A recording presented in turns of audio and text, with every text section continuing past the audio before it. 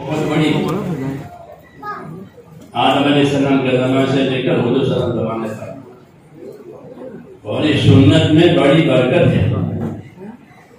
गैरों के होते हैं, शादियाँ ब्याह उनके होते हैं, हमारे नहीं होते।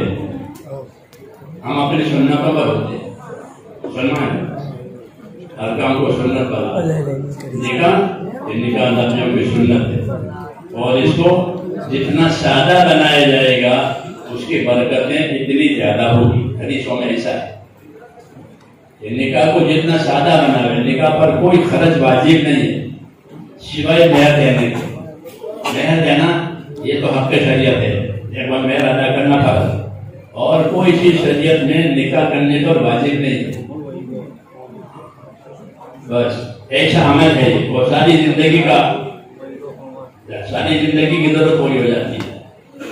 तो हुजूर ने होगी जबकि लोग उसको सादगी से करें। जितनी सादगी उतनी बरकत इसलिए अपने निकाहों को सादा बनाओ। इसमें रुपया खर्च करने की ज़रूरत नहीं है। अगर अल्लाह ने रुपया ज़्यादा दिया है तो जो बेनिका लोग हैं, उनका निकाह करा दो। अतः उमर फरमाते थे